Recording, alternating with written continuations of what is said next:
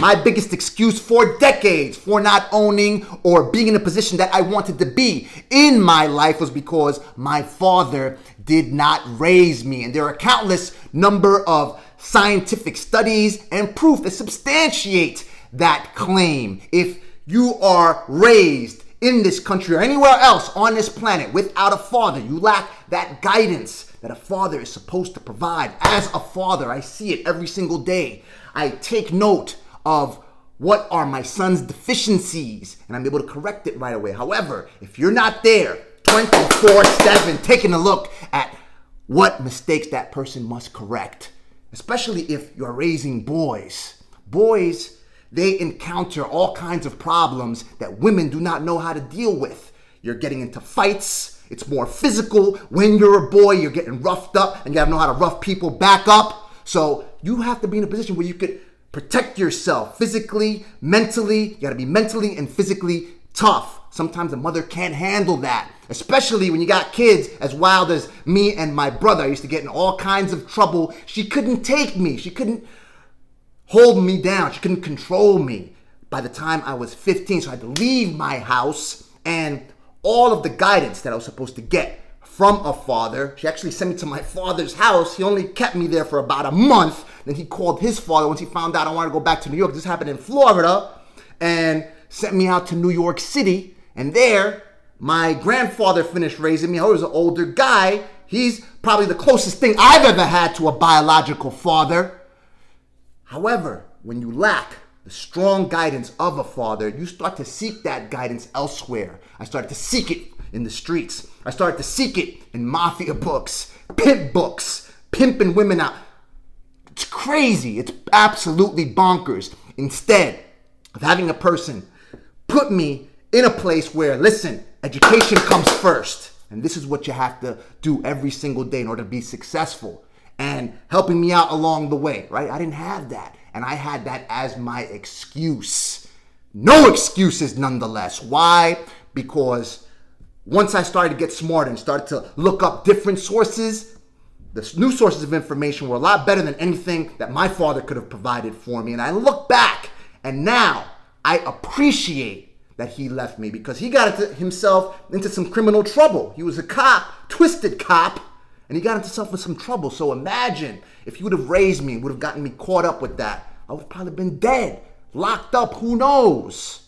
He has to live in another country as a result. I would have probably been crying right next to him. So I thank God that whatever sickness or whatever problems in which he was involved, he did not involve me in those problems. He did not involve my brother. Because if you are here, alive, breathing, healthy, if you're just alive, period,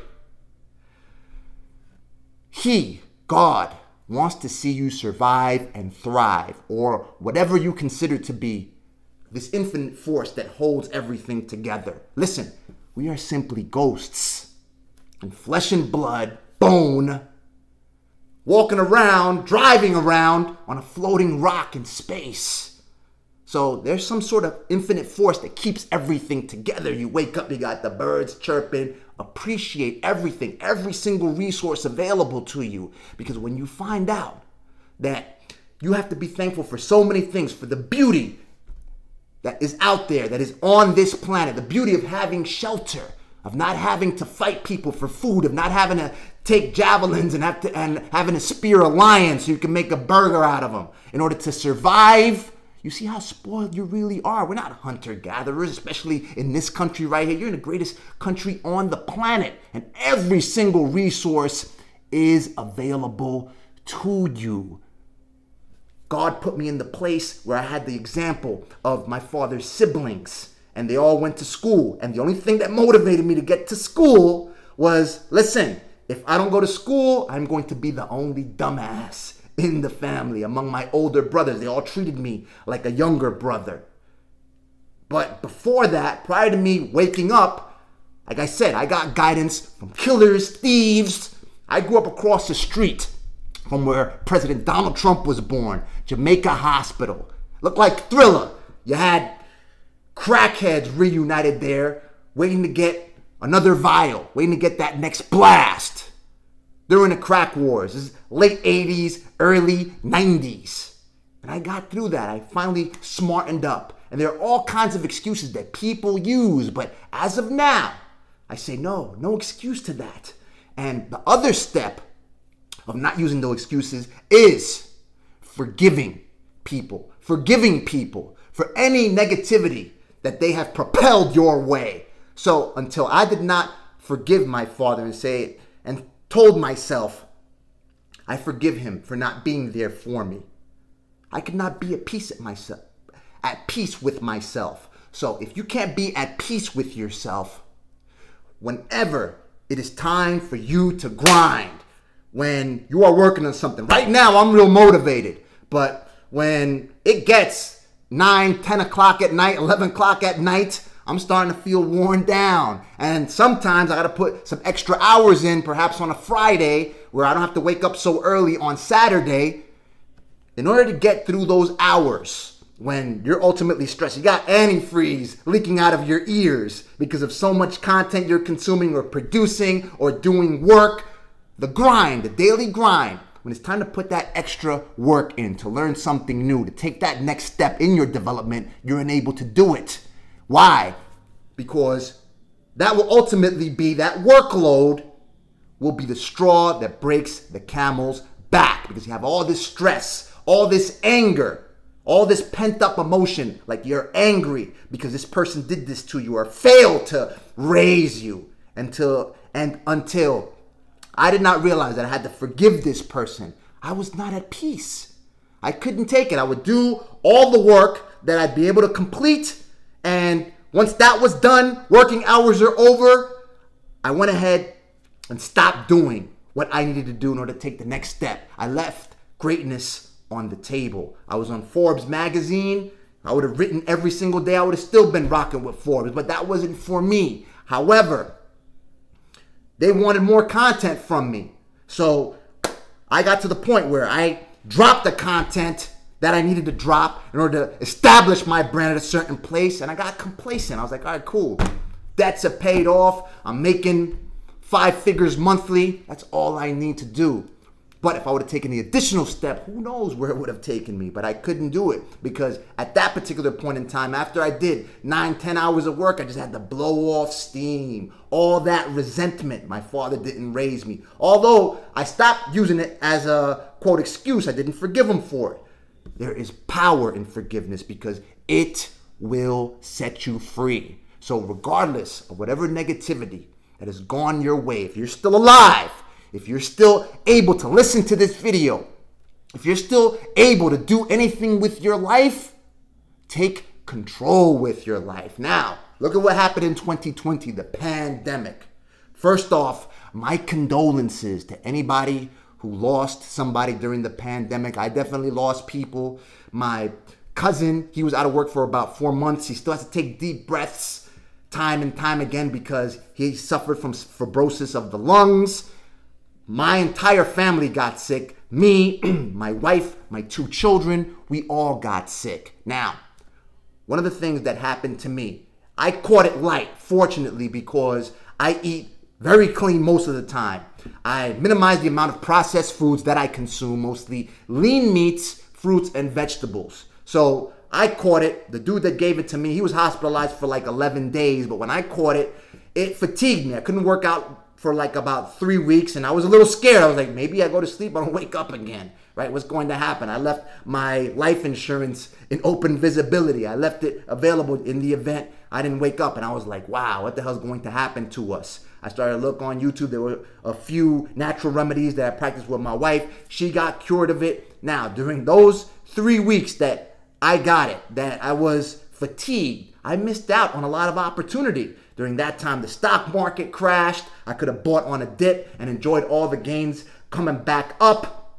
A number of people right here on YouTube, they capitalized on vlogging, on all the stimulus and all this stuff and they've got million dollar businesses. People became rich. So I can easily say, as an excuse, no, because I caught the virus, I was not able to capitalize and do what I needed to do. But regardless, I still enjoyed growth with my channel. But however, if I take that as an excuse. I say, no, because of this, I'm not here in life because of something that happened to me. And shift the responsibility, shift the blame to something outside of me. And the next time that that opportunity comes, next time I encounter step to greatness, I won't capitalize on it because there'll be something else.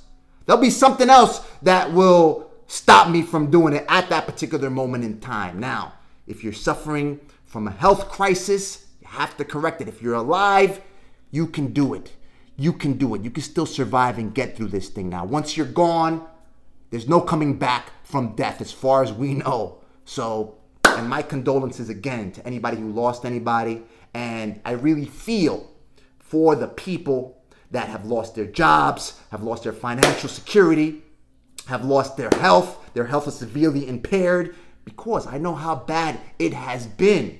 But if you're still here, the one way you can stop using anything that has stopped you from attaining what you want to accomplish in your life is by controlling your own destiny. You do it. Go ahead, visit my spreadsheet. Like I told you, there's no cost for it. bit.ly slash biz, B-I-Z, as in zebra, SS21. And the most powerful tab on that spreadsheet is the free education tab. Because through the consumption of that information, you will be able to do anything you want with your life. And if the information is not there, find it elsewhere. We are in the information age. Learn ways to make powerful moves. That's what got me to the position where I was able to work through the 2012 Barack Obama presidential campaign because I saw how much viral traffic was being driven through social networks such as Digg and Reddit at the time, and how content on Facebook that went viral first went viral on Reddit and Digg.com, and that still happens. You still got videos of me doing trick shots that have been viewed billions of times on Facebook as a result of the engagement that I initiated on Reddit.com. I was able to do that by learning a powerful skill, learning how to drive a thousand people per minute to a website so a magazine can generate revenue and established a small magazine that I snatched from the stork. probably prematurely, and I redeveloped it on WordPress and made it a leader in its niche to be recognized by the 2012 Barack Obama presidential campaign, perform all the fact checks. You saw the end result. And I have been able to work with some of the most iconic brands on the planet. Why? By taking control of my own destiny. And my call here today is for you to take control of your own destiny. Go ahead and take a look at the spreadsheet, the free education tab. Yeah, the grants are lovely. But again, any money that you're getting through the Paycheck Protection Program, somebody even told me that they got the solicitation invitation to apply for the $256,000 grant through the American Seed Fund to commercialize your technically risky idea. So that's great to hold you over. You got the stimulus check, you got all these things. It's good. But don't waste your time while you're enjoying that. If you can invest it into your education, into something that is going to enhance your skills so you're able to provide for your families again, so you can feed your families to ultimately save this country because you got to remember, you're the one that does it. You're the one that does it. That's why I always tell you Sell something. Once you sell something, you are operating a non employer firm, which constitutes the whopping majority of all small businesses, and small businesses constitute 99.9% of all businesses in the United States, employing 60.6 million people. Join the club. And as a result of me operating my small business in 2010, was able to enjoy more money coming from the Paycheck Protection Program. Look, I got a 20 grand grant coming as a result, far beyond the amount of support that people just get as a result of gaining a stimulus check. And what do you do? Get the information to do it. Go take a look at the free education tab on my spreadsheet. Take a look at the LLC tab where you can file your articles of organization for a limited liability company. Start a business and you qualify for more grants as a result, more assistance so you can take it and you can learn how to sell. The only reason that my organization is still around since 2010, some people, they're like, wow, you've been around 11 years already. We're not going under anytime soon because of my ability to sell. As long as you know how to sell, you will not stop.